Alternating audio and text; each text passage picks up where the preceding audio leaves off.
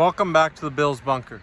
As always, I'm Jake Farco, and right now, on my break at work, had to make a video because the Buffalo Bills made a pretty big signing today. They added a veteran piece that can help them on their journey to win a Super Bowl. Leonard Floyd, pass rusher from the Los Angeles Rams. Leonard Floyd has had a ton of good seasons, three straight seasons with nine or more sacks. He's recorded 29 sacks over 50 games with the Rams over his last three years. Last year had nine and a half sacks. And with nine and a half sacks, he would have led the Bills defense last season.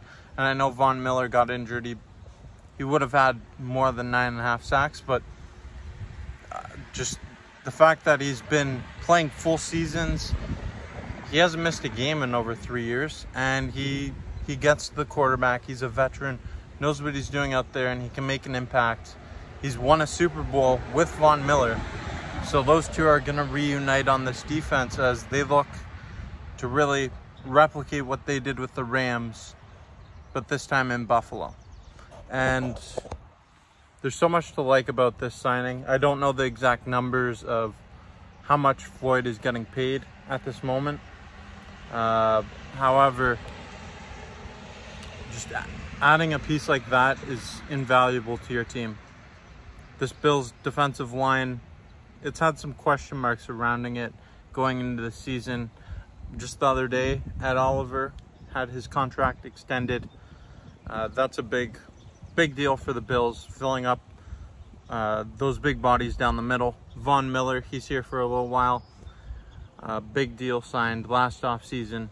Greg Rousseau, young guy, he's developing. Saw him take some strides in his game last year, but the signing of Leonard, Leonard Floyd really takes pressure off Rousseau.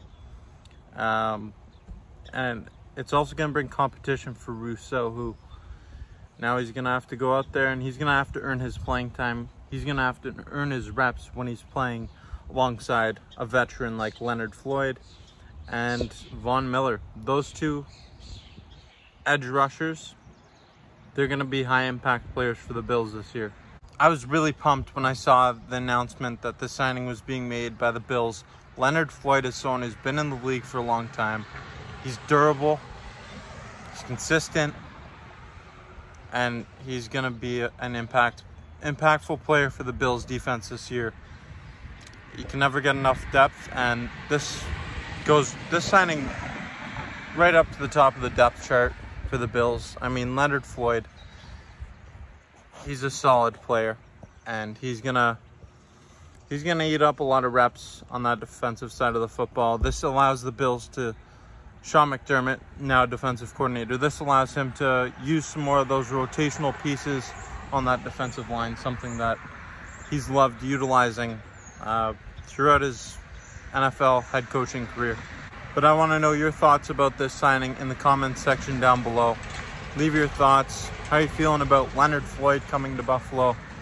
And I know everyone wanted to see the DeAndre Hopkins thing.